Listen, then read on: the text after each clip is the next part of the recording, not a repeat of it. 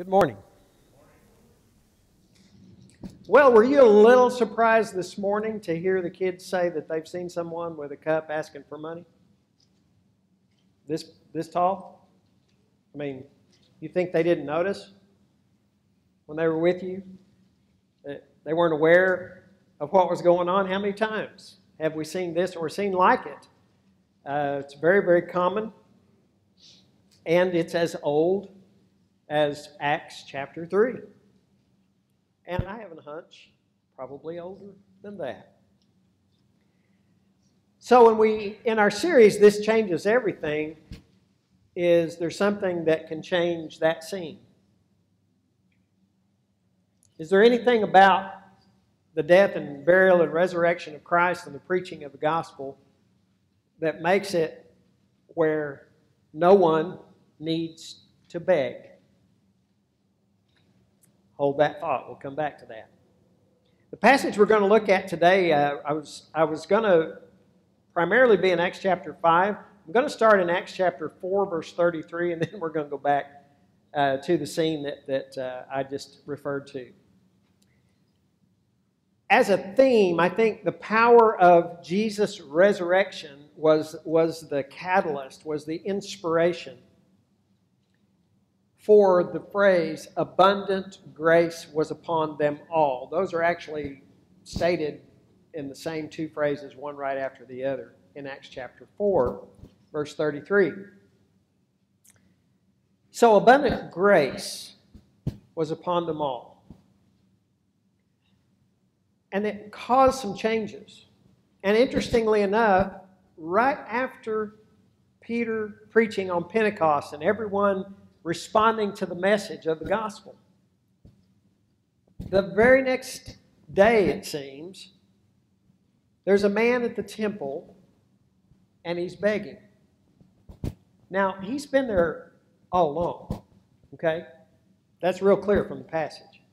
Everyone knew that when they went to the temple, they were going to encounter this man who could not walk, and therefore he could not work, and therefore he needed the charity the good graces of the people who passed by to go to the temple every day to give him enough to eat today.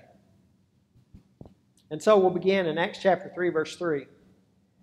When Peter and John, about to go into the temple, he began asking to receive alms.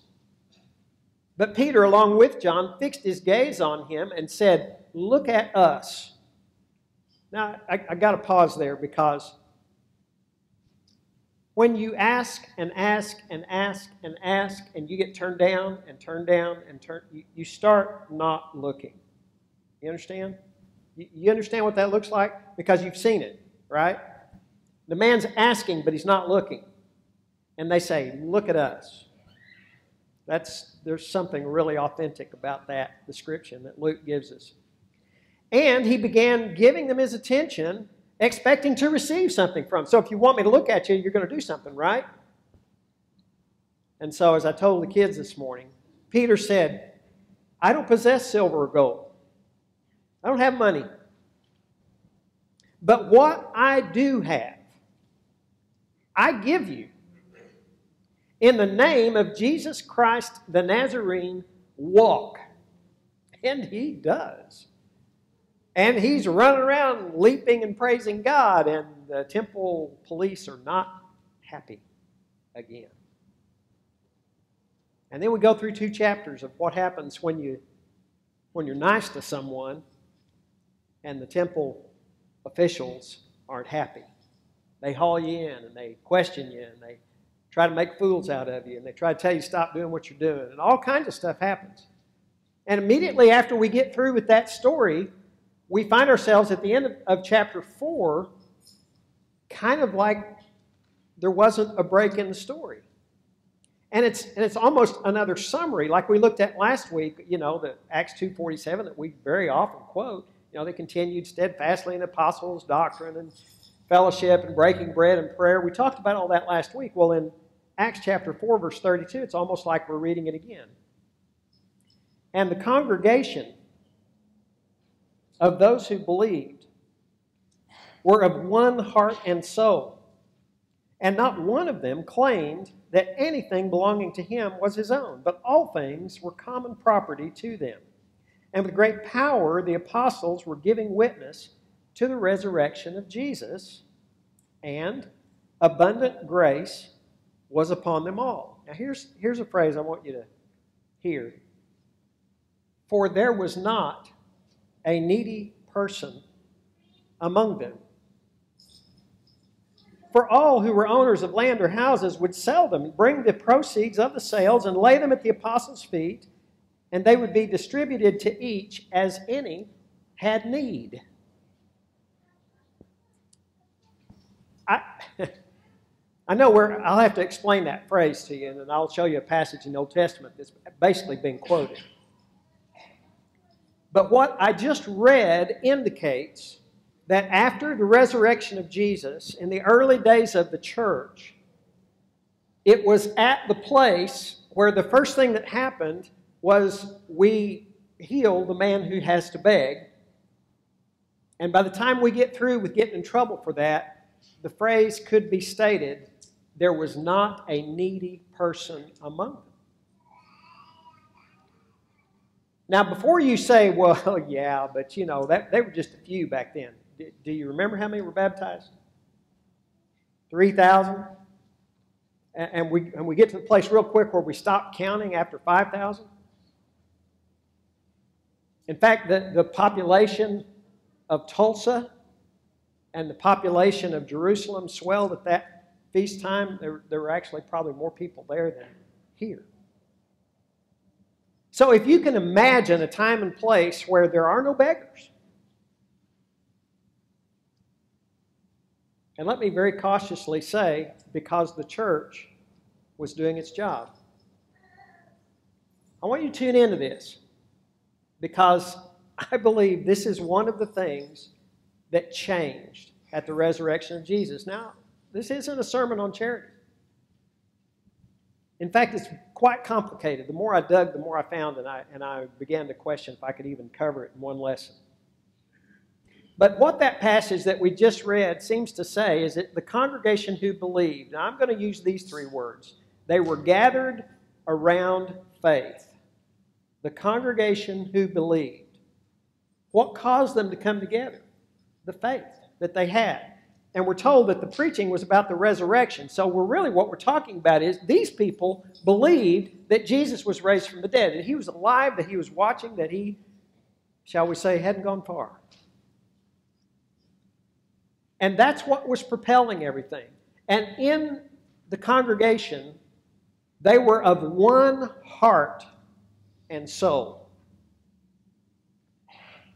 And what that caused, according to this passage, is that they were open hearted in that grace that was abundant. And they got to where they quit caring about whether it was mine or yours. The question was, do you need it or do I need it?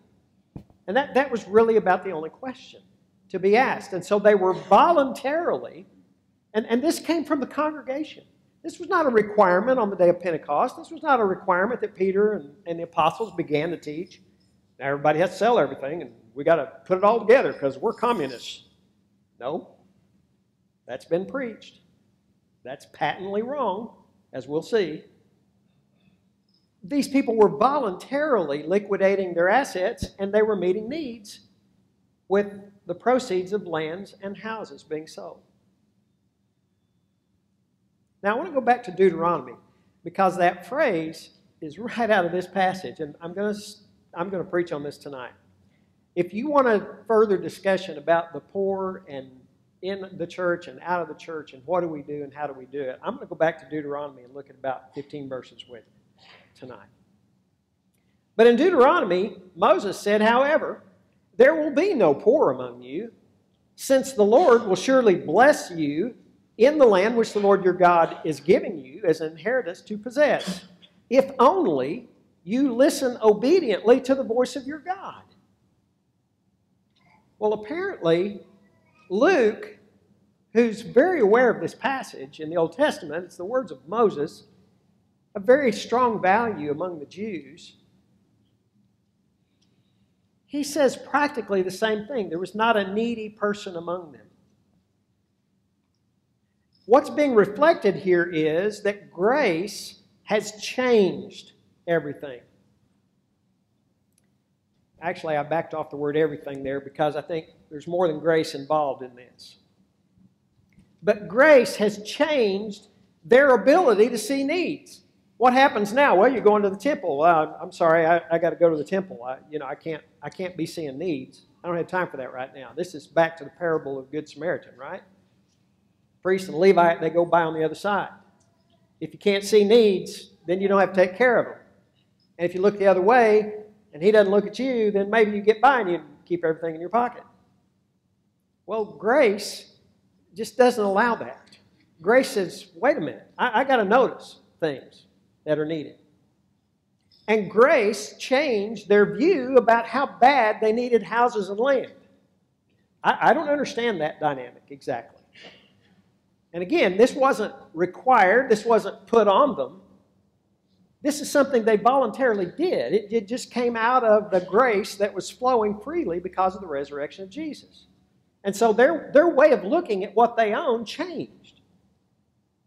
Their openness then to be recipients of blessings changed. Now, I say that because I can remember most of my life this phrase that, that we use I don't take no charity.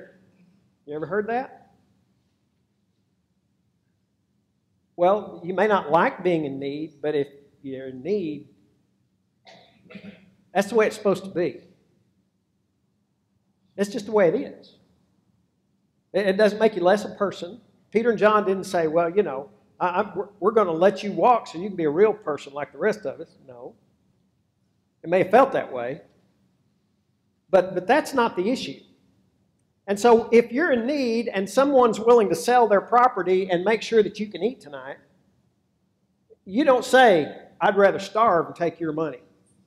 There's no grace of Christ in that. So it's the giving and the receiving that takes a change, see. And they're laying this money at the feet of the apostles. And, and this is a response to the spiritual leadership of these who are preaching and teaching every day and we're with Jesus. I don't understand this dynamic completely,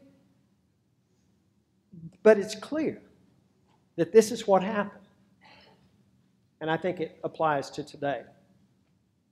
Now, the text goes now to two examples. Because when you read that they were selling things and they were laying it at the apostles' feet, you don't, you don't really have a picture of what that looks like. So Luke is going to give you two examples of what that looks like good and bad. Now I'm going to read these together, one right after the other, because if you get to the end of chapter 4 and you stop and you say, okay, the next chapter is different, wrong, you'll notice it's, it's almost like one complete thought. And so here's how it begins, and, I, and I'm skipping a few words. Barnabas, which translated means son of encouragement, owned a tract of land, sold it, and brought the money and laid it at the apostles' feet. But a man named Ananias, with his wife Sapphira, sold a piece of property and kept back some of the price for himself with his wife's full knowledge and bringing a portion of it, he laid it at the apostles' feet. You see how that's just one thought? I mean, they uses all the same words and everything. So you got a good and a bad example. Now I'll just be honest with you. What follows is something that even the commentators struggle with because it's shocking. And it makes us question why did that just happen? So listen well. But I want to suggest to you that there is a threefold cord that's in operation here. A, a cord of three strands is not easily broken, Solomon said. There was this resurrection of Jesus that inspired this grace. And, and that was a very strong component in all of this. Then there was this unified, active caring that was going on. I mean, to the point that they're selling assets, things of value that they can't get back once it's sold. And they're taking care of each other. But there is also absolute sincerity and integrity about all that. Everything's being done above board. Nobody's cheating anybody. Nobody's lying to anybody. I mean, the people in need are really in need. Isn't that the first thing that goes through your mind when you drive up on somebody? Do you really need this, or am I just feeding some habit of yours? That's the first thing that we think of, right? Okay, so in the church, one of the things that drove this, and this is very important, is there was no question about the need or the integrity of the person who was in need. And therefore, everything was just open and free, and the money flowed wherever it needed to go. Now, if you take one of those away, you just messed it all up. And that's what Ananias and Sapphira did. So, let's go back to the text in verse 3 of chapter 5. Peter said, Ananias, why has Satan filled your heart to lie to the Holy Spirit and to keep back some of the price of the land while it remained unsold? Did it not remain your own? And after it was sold, was it not under your control? You see, that's where I get the voluntary nature of this. Peter does not suggest in any way, shape, or form that Ananias has broken the code or somehow done something that he wasn't supposed to do in the sense of selling and then how much money goes where it goes. The issue isn't about whether it's okay to sell or not sell or to give part or all. it's yours. But then he keeps talking, and things start happening. Why is it that you have conceived this deed in your heart? You have not lied to men, but to God. And as he, Ananias, heard these words, Ananias fell down and breathed his last. And great fear came over all who heard of it. And the young men got up and covered him up and carried him out and buried him. Now that's pretty stark, wouldn't you say? I, I think it's fair to say, wow, there must have been more to that than I realized. Oh, yeah. Probably so. Let me suggest a few things that I can see in the passage. Number one, greed, covetousness, whatever you want to look at, what motivates someone to do what Ananias and Sapphira did, is from Satan. Why has Satan filled your heart? This is satanic. You say, Whoa, really? Because I've felt greed before. Yeah, you should watch that. Greed is greed is huge. And God takes it, pardon my pun, deadly serious. Secondly, this whole idea, whether we go in Acts 2 and they were of one mind, or we go to Acts 4 and they were one heart and one soul, are you seeing those three words and the song we just sang? We're supposed to love God with all of that. It just makes sense that if we're supposed to love God completely with mind and heart and soul, that that being the first commandment is a really big deal. And Sapphira didn't just, well, they kind of broke one of the commandments. No, they belied the whole foundation of all there is in the law of Moses and in Christ. Thirdly, Jesus said it this way. Let me explain to you how powerful money is, Jesus says. You cannot serve two masters. You cannot serve God and mammon, or money, or wealth, is actually the, the meaning of mammon. If, if you're all concerned about wealth and how much you got, whether you got enough and how long that's going to last, you're going to find your being able to serve Christ is going to be tough. A lot tougher. In fact, you're going to come down to a choice. Ananias and Sapphira apparently came down to a choice. We can serve God or we can keep back part of the money. Now, if you're at this point saying, well, there's more to it than that, you're right. And I'm just going to sum it up this way lying to leaders is a lie to God. Again, I don't completely understand this dynamic. Peter was just a human being, right? Yeah, okay, he was an apostle. Yeah, the one that denied Jesus. Denied he ever knew. He wasn't perfect. But whatever Peter was, as the one of 12 or so, who were having these funds laid at their feet, God took that very seriously.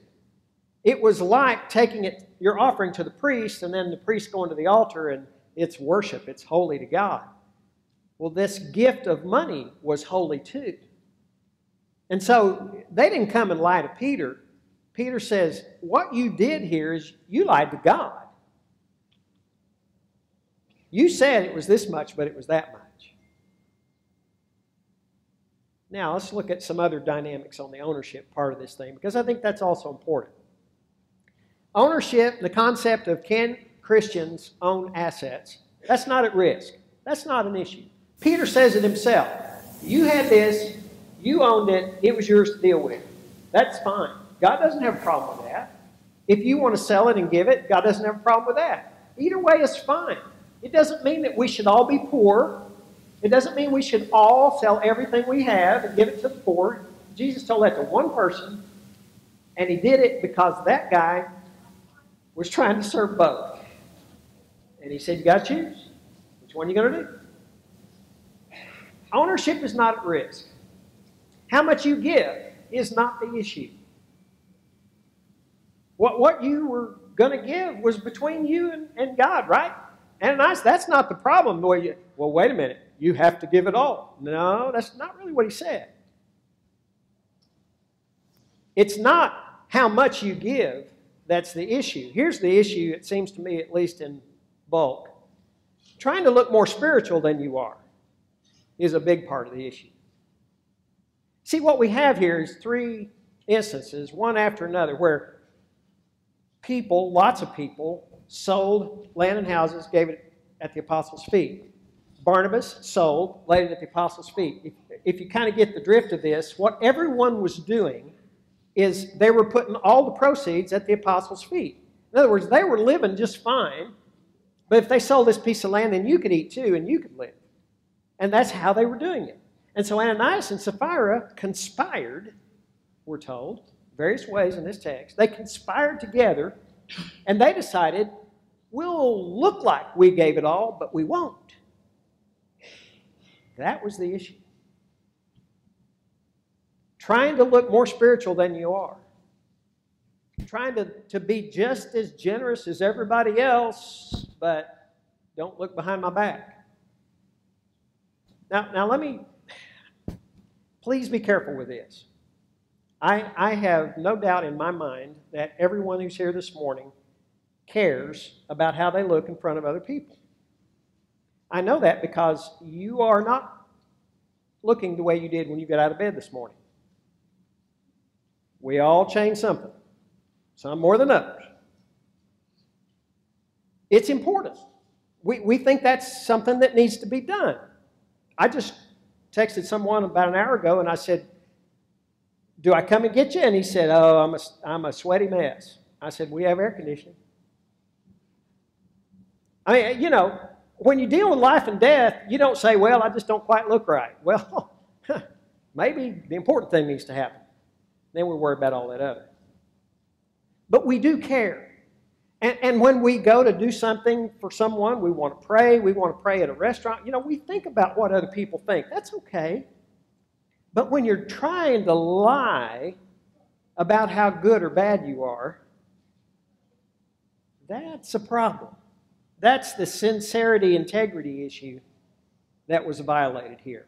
Now, I don't need to tell you that Sapphira also died. In fact, the words are almost identical in the other half of the story.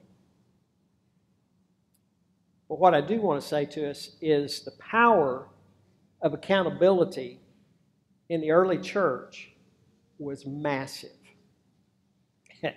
Great fear came over the whole church. You think? I think everyone wanted to know exactly how that should have been done before they went and tried it. This is actually the first occurrence of the word church in the book of Acts. The one in Acts 2 is actually to their number. The Lord added to their number day by day those that were being saved. This is the word ecclesia in the Greek for church. And the first use of the word church is everybody was scared. They were in awe. They wanted to be really careful about this giving thing because giving is deadly serious. there was not a needy person among them was worth having. But it had to all be together. The loving God with all your heart and soul, and the unity that that inspired among people to just be overly generous with each other and make sure they noticed if there was any kind of need, they would meet it. But that it be done with sincerity and honesty and integrity. We, we got to take all that serious. And if we don't, then we won't find God's Spirit working so mightily among us as He was in these days. So I was asked as I walked in this morning what I was going to preach about, and I told the gentleman, I don't really want to give you the one word because then you'll walk out. Yeah, we're talking about giving. But are we really? You know, this isn't a building fund campaign. This isn't a mission campaign. This is, you know, this sermon isn't about giving and how much, and you better you better give enough, or God will get you. Uh, I've heard all those things used, believe it or not, from this passage. This is about hearts right before God and what that causes, and that even that still has temptation associated with it. How is that possible? How could something as wonderful as they were of one heart and soul have a tempting side to it? It did. I don't know if Peter knew what was going to happen or not. I kind of think he didn't. That's just me. He's telling Ananias, you, you, you know, you lied, to, you lied to God, and Ananias drops dead in front of him. He didn't lift his hand. He didn't pronounce a curse. He didn't do anything but say, Here's what you just did. God took care of it. That is a God who works mightily among his people. And that's each person just, just trying to live before God in the best way possible. And so this morning, I, I, I want to ask you to take your faith, your belief in the Christ, who was raised from the dead, and in the gathering of his people, because as we come together, it's holy. Our presence together is a holy thing. And what we've given and what we've sung and what we've prayed are holy. But the most important ingredient of that is your heart before God. Are you right before God? You want to do something about any gap that you feel in that? Come right now and deal with your life before God as we stand and sing.